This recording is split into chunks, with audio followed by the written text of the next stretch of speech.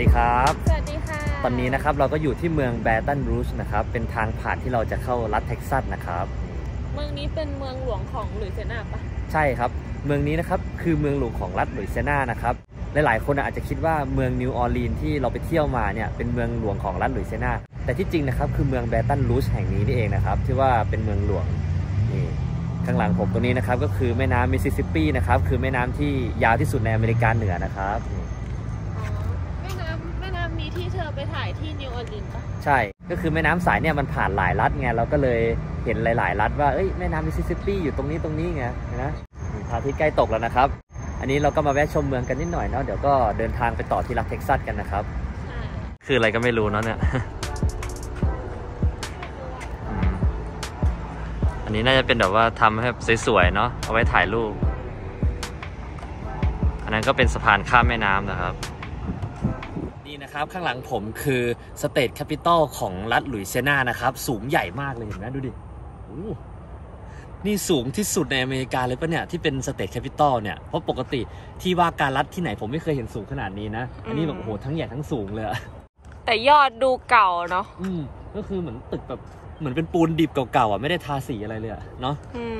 อันนี้เขาปรับปรุงหญ้าเหรอหรืออะไร อืมเขาน่าจะแบบปรับปรุงสนามข้างหน้านะ เพราะว่าเขาเอารั้วมากั้นอย่างนี้ไว้ไง ที่เมืองแบตันรูชนะครับก็จะเป็นที่ตั้งของสนามฟุตบอล Tiger Stadium นะครับเป็นทีมอเมริกันฟุตบอลชื่อดังของรัฐหลุยเซียนาเลยนะครับแล้วก็มีมหาลัย LSU State นะครับก็คือ Louisiana State University นะครับเป็นมหาลัยประจำรัฐของหลุยเซียนานะครับก็ตั้งอยู่ที่นี่เหมือนกัน แล้วก็ใกล้ ๆ นี้ก็มี The Middle Plantation นะครับที่เป็น คฤหาสน์ที่หล่อที่สุดในอเมริกาที่ช่องพิจิโร่ชานไปถ่ายมานะครับ ก็ลองไปดูกันได้นะครับ แต่ว่าผมไม่คงไม่ไปหรอกเพราะว่าไม่มีเวลาด้วยแล้วก็ไม่กล้าเข้าไป ส่วนสาระตรงกลางตอนนี้ก็มีคนมา ออกโยคะเล่นโยคะด้วยเนาะอืมออกกำลังกายกัน ก็ทั่วไปอะตามพวกตามพาร์คเนี่ยก็จะมีครูสอนโยคะมาสอน นี่นะครับตรงนี้ก็คือ Old State Capitol นะครับ เป็นที่ว่าการรัฐเก่านะครับนี่เห็นนะ อันนี้พามาดูเฉยๆนะ เป็นแบบสไตล์เหมือนปราสาทเลยนี้ ที่แรกเนี่ยเรากะว่าจะพามาหากินข้าวแถวๆนี้ แต่ว่ามันหาที่จอดรถยากไง ตรงนี้มันเป็นพวกแบบคล้ายๆศูนย์ราชการแล้วก็อยู่ในเมืองมีโรงแรมด้วยก็เลยหาที่จอดรถยาก ก็เลยคิดว่าเออไม่เป็นไรเดี๋ยวขับรถไปต่อแล้วกันเนาะเพราะว่าคืนนี้ต้องขับไปนอนถึงรัฐเท็กซัสเนี่ยต้องเดินทางอีกประมาณแบบสองสามชั่วโมงอะไปะเดี๋ยวไปเดินทางกันต่อก็ได้ไม่เป็นไรเนาะ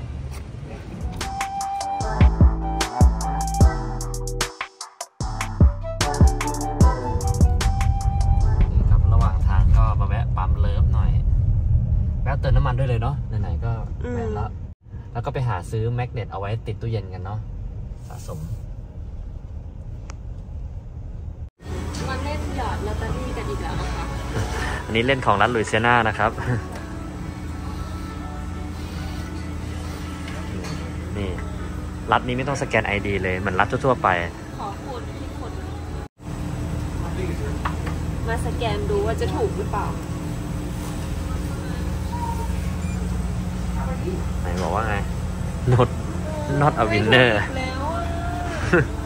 หรือว่าต้องสวดมนต์ก่อน ค่อยคูณค่อยกดพอละเล่นเยอะเปลืองตังค์ไปไปหาซื้อของฝากแล้วก็เดินทางกันต่อ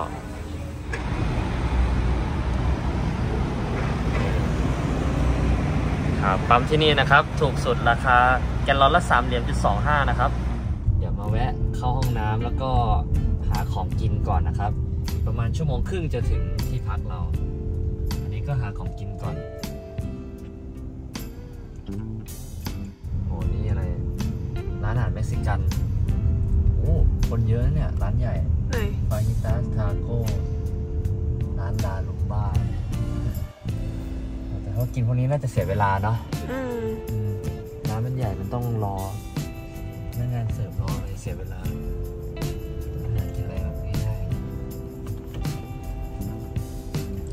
ำไมแบบว่าไฟมันแบบว่าๆเน้นแบบแสงสีให้ยึดเด่นชัดไง เออ สังเกตแล้วที่ลุยเซยนานี่ก็มีแต่คาสิโนนะ พวกตามปั๊มเนี่ย ที่แวะปั๊มเนี่ยจะมีพวกคาสิโนเล็กคาสิโนๆสุดท้ายก็มาจบที่แมคโดนัลล์นะครับ แต่ทุกที่เลยสังเกตแล้วแมคโดนัลล์นี่ได้ทูได้แถวยาวตลอดเลย เป็นเพราะว่ามันง่ายไง ง่ายๆแล้วก็ถูกด้วย สะดวกดี ระหว่างทางนะคะนี่กินแมคโดนัลล์เบอร์เกอร์ปลาคนละอันเลยแถมคนละอันเลยน่ากินมาก เดี๋ยวขับไปด้วยกินไปด้วยอมป้อนฉันด้วยนะเดี๋ยวเรารีบเดินทางต่ออีกประมาณ ชั่วโมงครึ่งนะครับ 110ไมล์อะเดินทางกันต่อครับ ตอ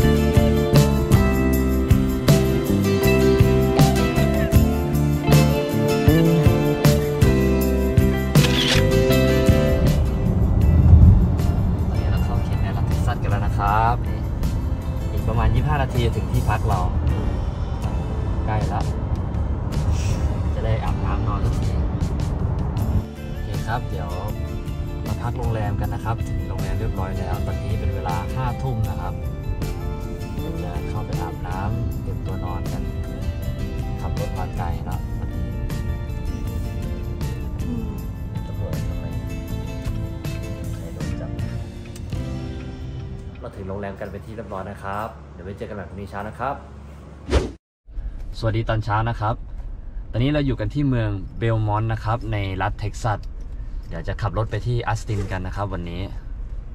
เดี๋ยวระหว่างทางจะหาแวะกินข้าวเช้ากันก่อนเนาะ อืมใช่ กินสตาร์บัคได้ไหมอืมสตาร์บัคอีกแล้ว เดี๋ยวจะไปลอง Whataburger ดู เป็นเบอร์เกอร์ของเท็กซัสว่าจะเป็นยังไง โอเคครับ เดี๋ยวขับรถไปต่อนะครับ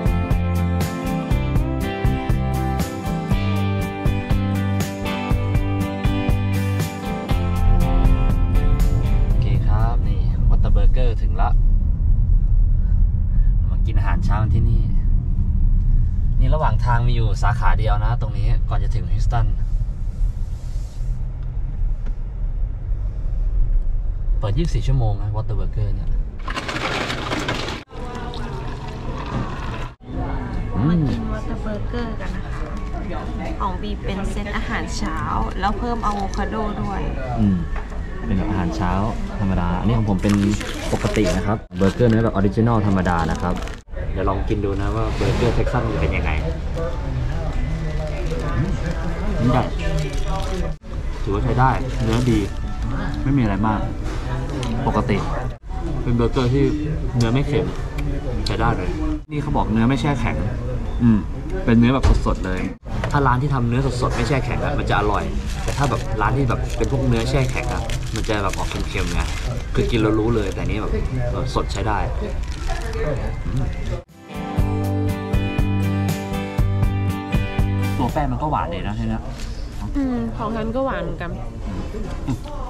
อะโวคาโดด้วยไป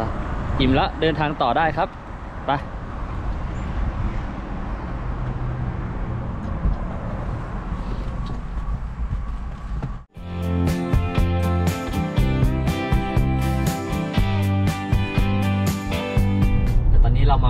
ตันนะครับ ไป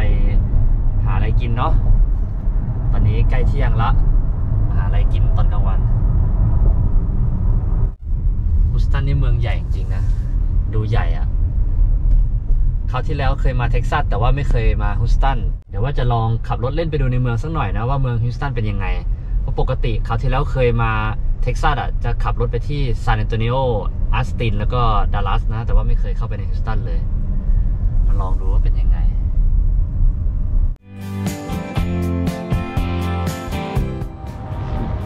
โอ้นี่ครับ พอเข้ามาฮิวสตันนี่ก็เจอรถซิ่งเลยนะครับฮิวสตันนี่เมืองรถซิ่งเลยเนี่ย 370Z โอ้โห ดู wing หลังโคตรสูง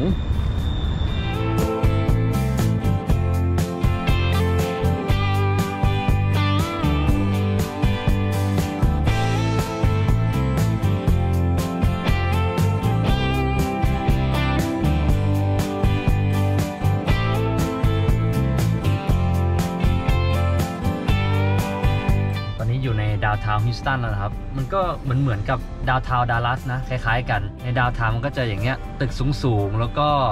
เมืองก็จะเงียบๆหน่อยเพราะว่ามันเป็นพวกแหล่งฟินแลนเชียลไง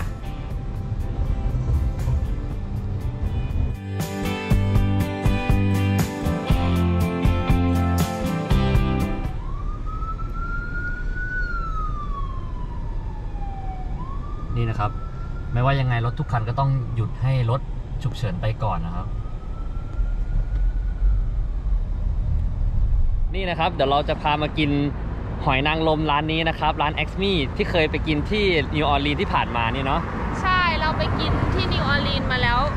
รอบนึงนะคะ แล้วติดใจหอยนางรมมันอร่อยมาก หอยนางรมย่างอะ อร่อยแล้วก็คือ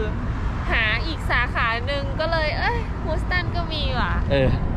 กินนิวออร์ลีนไม่พอต้องมากินที่ฮิวสตันอีกรอบนะครับ ดูสวยดีเนาะเนี่ยร้านอาหารนี้เขาเอาโรงหนังเก่ามาทำเป็นร้านอาหาร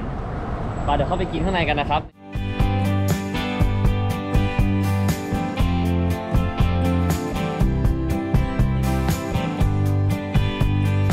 มีคนอยากกินหอย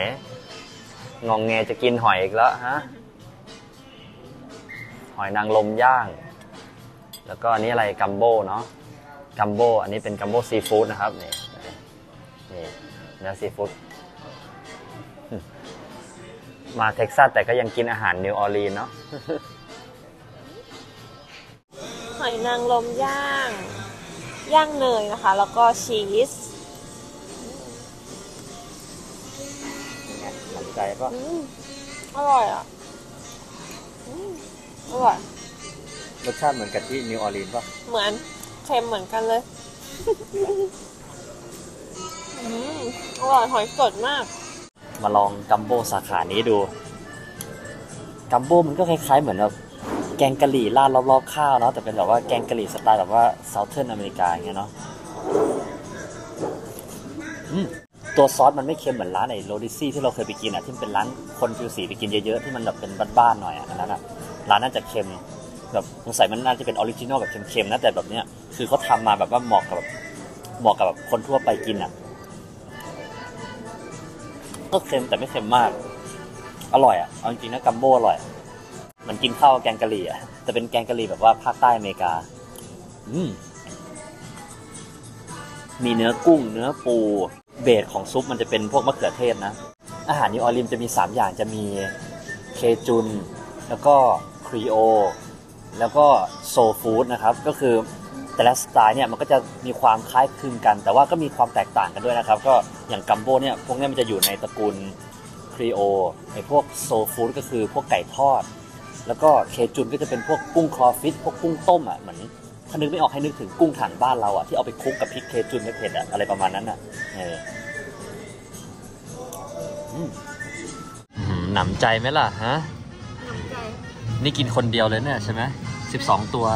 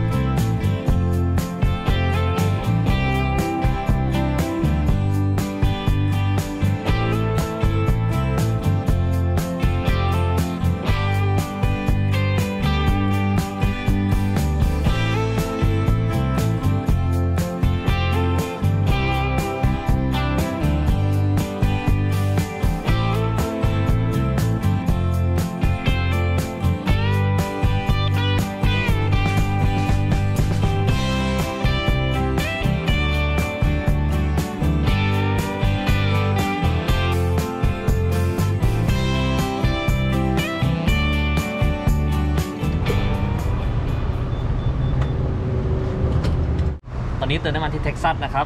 ราคาน้ำมันถูกมากเลย ถูกสุดนี่แกลลอนละ 3.14เองนะครับเติมเสร็จเดี๋ยวจะแวะเข้าไปเข้าห้องน้ำแล้วก็หาซื้ออะไรกินข้างในเย็นๆเนาะโหสามสี่องศา ร้อนเลยเนี่ยนี่ตั้งแต่รถทิปมาเนี่ยเท็กซัสร้อนสุดแล้วเนี่ยสามสี่องศาเลย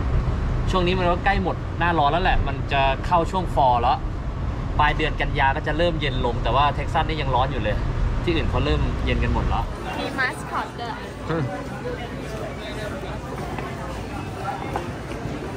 เธอไปถ่ายไหมเออเออไปถ่ายเงี้ยที่นี่ก็มีแบบมีมัสคอตให้ทักทายลูกค้าด้วย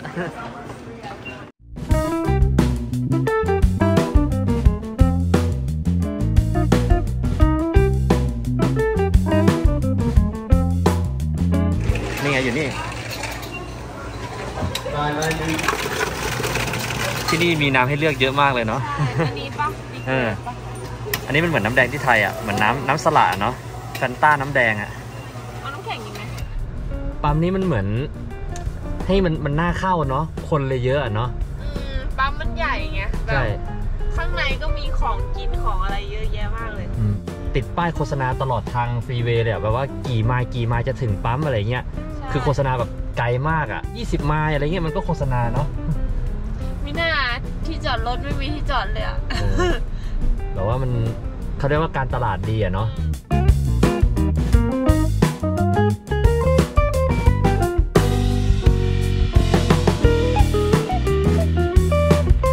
ตอนนี้เราอยู่ที่เมืองดิฟฟูดนะครับ ห่างจากอัสตินประมาณครึ่งชั่วโมง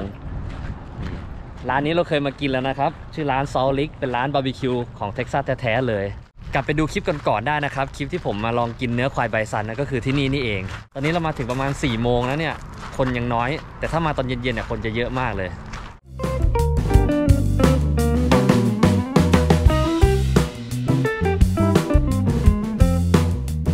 นี่นะครับของเรามาแล้วนี่ อันนี้เราสั่งเป็น brisket นะครับ ก็คือเนื้อเสือร้องไห้นี่ไง เป็นบาร์บีคิวเท็กซัสสไตล์เท็กซัสแท้ๆเลยเห็นนะไอ้ขอบดำๆเนี่ยมันคือผงที่เขา rub ที่เขาเคลือบไว้ข้างนอกนะครับ แล้วมันทำปฏิกิริยากับควันอะกับความร้อนมันก็เลยแบบว่าเป็นสีดำอย่างนี้ แต่ว่ามันไม่ใช่แบบไหม้นะนี่แล้วก็อันนี้เป็น pork rib นะครับนี่นี่ pork rib แล้วก็มีไอ้นี่ด้วย brisket สองอย่างเนื้อติดมันเนี่ยมันจะทำให้นุ่มมาก แล้วเวลากินโอ้โหละลายในปากอะคราวที่แล้วกินแล้วติดใจคราวนี้เลยต้องมากินอีกเนี่ยมาเดี๋ยวลองกินกันเลยนะครับนะเดี๋ยวลอง brisket ก่อนเลย ต้องราดซอส เป็นซอสบาร์บีคิวเท็กซัสจิ้มจิ้มอืมอืมอื้อหือรสชาติที่อยากกินมานาน ใช่เลย นี่นี่นี่ตัวมันมันให้ดู นี่เนื้อดูดิ มันมันเนี่ยอื้อหือ ชอบไอ้ตรงที่มันดำๆเคลือบไว้อะมันเป็นเครื่องเทศมันเป็นแบบที่เขาที่เขาเคลือบไว้แล้วมันทำปฏิกิริยากับควันอะหอมมากอืมอื้อหือละลายในปากจริงอะเดี๋ยวฉันขอตรงของเธอได้ไหมอันเนี้ยที่มันดำๆอะชอบอืมน่าจะนุ่มน่าดูเลยอย่าเอาไปเยอะนะ เออเนี่ยนิดเดียวพอ ไม่ต้องจิ้มซอสก็ได้มั้ง เนี่ยน้ำมันเลยอะอืมหอม หอมแบบลมควันอะ อือหือละลายในปากสุดยอดบรรยากาศร้านมันก็ดูเป็นแบบคาร์บินดีนะ แบบว่าสไตล์แบบไม้ๆอย่างเงี้ยรอบที่แล้วเรามานั่งข้างนอกอะแต่รอบนี้เออเขาบอกให้ลองมานั่งข้างในแต่ก็เออนั่งข้างในก็บรรยากาศอีกแบบหนึ่งแต่จริงๆอะเราชอบข้างนอกมากกว่ามันแบบได้ฟิลกว่าแบบลูกทุ่งลูกทุ่งสุดยอด พอกลิปซี่โครงหมูอืมหอมควันมากดูดิสุดยอดอืมอืมหอม หอมแบบลมควันอะ จะจะบอกว่าเนื้อนุ่มกว่าหมูนะเอาจริงๆเพราะว่าเนื้อมันแบบไอเนี้ยเนื้อสันหลังข้างมันติดมันไงนุ่มกว่า ถ้าแนะนำให้กินนะ กินบิสกิตกินเนื้ออร่อยกว่า หมูก็อร่อยแต่ว่าเนื้อ the best เลยอืมสุดยอด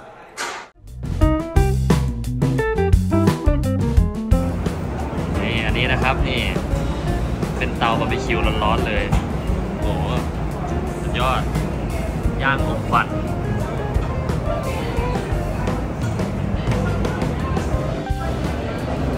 โอ้บาร์บีคิว น่ากินเนาะทำแบบสุดยอดอะหอมมากเลยคราวที่เราที่เรามากินเรามานั่งตรงนู้นเนาะข้างนอกบรรยากาศกลางคืน แล้วก็มีดนตรีสดเล่นด้วยแบบคันที่คันที่หน่อย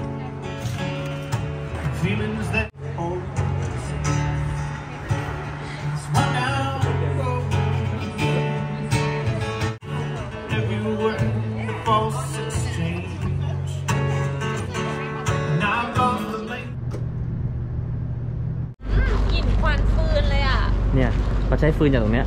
เออฟืนยืนแบบตรงเนี้ยแล้วก็เออ ทำอาหารอืมกินแบบบรรยากาศแบบชนบทเลยเนาะ แบบว่าชนบทอะแล้วแบบว่าเข้าใจควันปืนไหมเออ ใช่เลยเนาะ มันได้ฟิลมาก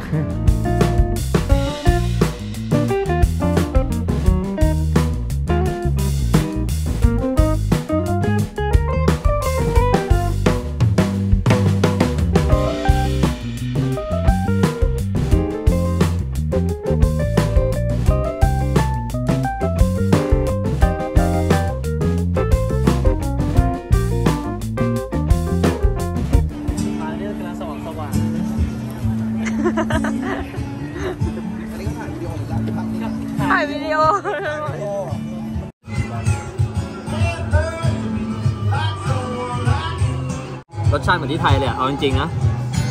นี่พูดจริงไม่อวยเหมือนที่ไทยอืมอร่อยมาเที่ยวเนี่ยตั้งหลายวันเพิ่งได้กินอาหารไทยแซ่บไหมอืมแซ่บปะโคตรแซ่บเลย อืมอะไรอะ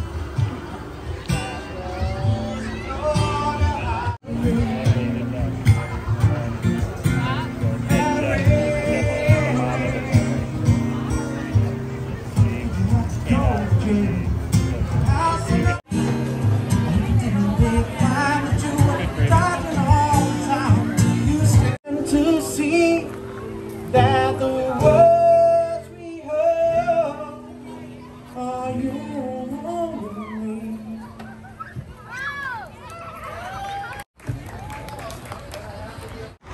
พี่จิโร่มาส่งที่รถนะคะเนี่ย เอาดูได้เป็นไฮบริดก็โอเคเน้นประหยัดน้ำมันนะโอเคครับ ตอนนี้เราถึงโรงแรมกันแล้วนะครับ เมื่อกี้เพิ่งออกจากร้านพี่จิโร่มา ดีใจจนลืมถ่าย ดีใจที่ได้เจอพี่จิโร่ตัวจริงไงแล้วก็ลืมลืมถ่ายคลิปไปเลย แล้วเมื่อกี้ก็ตื่นเต้นมากๆเลย เมื่อกี้ได้ออกช่องพี่จิโร่ครั้งแรกไปเดี๋ยวไปเช็คอินกันก่อนนะครับ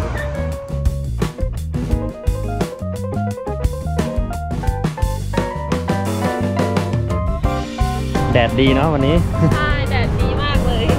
อยากเที่ยวต่อเลย อยากเที่ยวต่อ ตอนนี้ยังอยู่เมืองจอร์จทาวน์นะครับ ก็ออกจากอัสตินนิดหน่อย เดี๋ยวจะเดินทางไปที่ดัลลัสต่อ Smoothie King เป็นร้านสมูทตี้ร้านโปรดของผมเลย เวลาแวะที่ไหนก็จะซื้อกินตลอดร้านเท็กซัสที่ใหญ่จริงๆย่านร้านอาหารของกินในดัลลัสนะครับได้แล้วค่ะเป็นซี่โครงหมูแล้วก็